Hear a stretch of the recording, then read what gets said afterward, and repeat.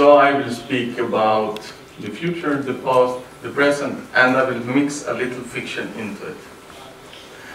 Um, I will start with a scenario that I would say is likely, and I will explain when I'm done why.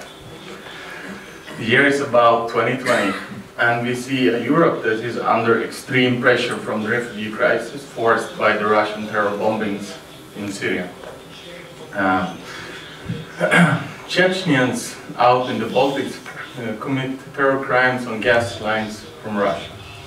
Sweden, who has a very poor army, has no means to counter it at all, giving Russia the window of opportunity to speak out and say that Sweden cannot protect the Russian interest. We heard that many times before.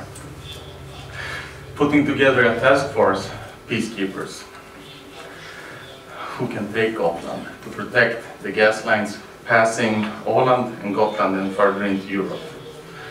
Sweden, we cannot defend ourselves against Russia since we have no solid partners.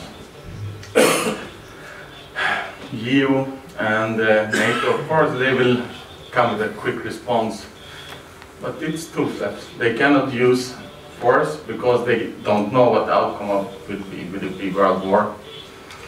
And European Union being on its knees because of the refugee crisis can only use small economic um, sanctions against Russia. For many of you it may sound like fiction, something from an action movie maybe.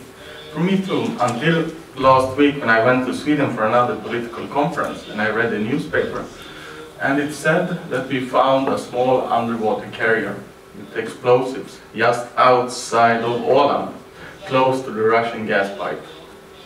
What reason it had, no one knows for now. Maybe it was this scenario that Russia or someone else planned for.